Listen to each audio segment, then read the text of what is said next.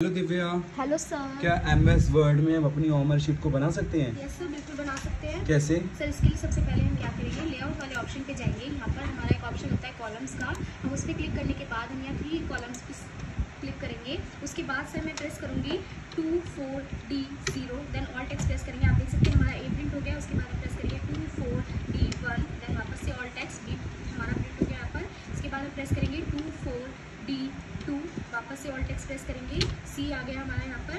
To four D three से हमारा alt express करने के बाद यहाँ पर हमारा डी आ गया है। उसके बाद हम प्रेस करेंगे last two four D four, वापस से ऑल्ट एक्सप्रेस करेंगे। आप देख सकते हैं सर, हमारे यहाँ पर A B C D press हो गए हैं। उसके बाद मैं यहाँ पर प्रेस करूँगी कंट्रोल ए सिलेक्ट करने के लिए। देन हम होम पे जाएँगे और यहाँ से नंबर बुलेट्स को ऑन कर देंगे। उसके बाद मैं यहाँ कंट्रोल सी करूँगी और उसके बाद हम कंट्रोल बी प्रेस करेंगे। आप देख सकते हैं सर, यहाँ शीट वाले नंबर जो है वो प्रिंट होकर आ रहे हैं। ऐसे ही हम प्रेस करेंगे यहाँ पर। आप देखिए सर मेरे यहाँ पर बहुत बढ़िया। हमारे शीट वाले नंबर जो है वो बनकर आ गए हैं। Thank you Divya. Welcome sir